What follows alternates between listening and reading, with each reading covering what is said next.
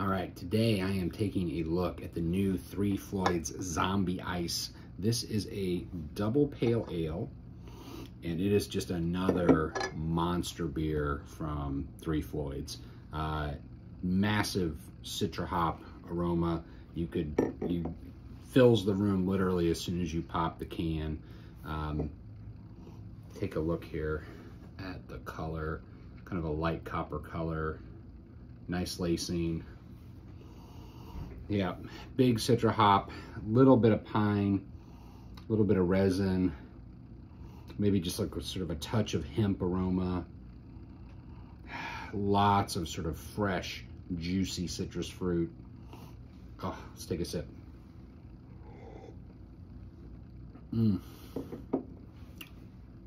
The malt bill, the malt profile for a beer that's eight and a half percent, you would think would be more sort of mouth coating and filling.